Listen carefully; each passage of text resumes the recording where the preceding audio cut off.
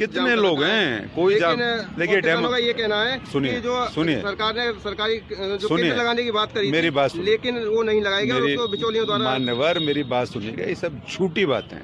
अभी शिकारपुर चलो मेरे साथ मैं तीन दिन चेक करके आया हूँ और जहाँ तक जाम लगाने वाली बात है हम बीस लोग यहाँ खड़े हैं। ये डेमोक्रेसी है लोकशाही है ना लोकतंत्र है। अभी मैं यहाँ बैठ जाऊँ जाम लग गया।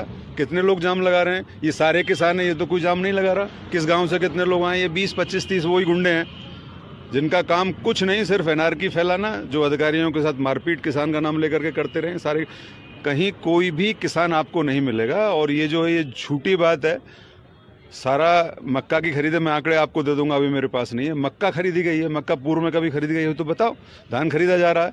हाँ थोड़ा कभी मॉइस्चर वॉस्चर का इशू रहता है हमारे किसी भाई का तो वो उसको इशू को दूर करके वो खरीदा जा रहा है। जहाँ तक बात है, बिचौलियाओं का तो बिचौलिया, देखिए बिचौलिया कैसे हो सकता है? पहले आपको टोकन जनरेट कराना होता है, पैसा किसान के खाते में जाएगा।